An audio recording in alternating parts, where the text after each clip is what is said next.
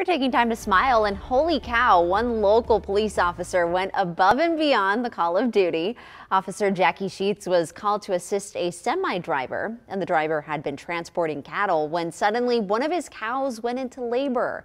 The officer wasted no time and her childhood instincts from working on a farm kicked in and they were able to safely deliver the calf together. What a great story. I'm glad she got delivered safely.